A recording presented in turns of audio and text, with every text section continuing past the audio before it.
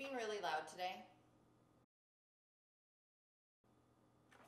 Hmm.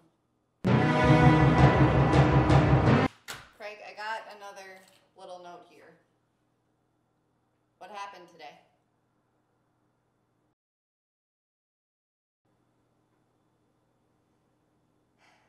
Well, I guess they must be ghosts living in my apartment, but they're crazy. Yeah.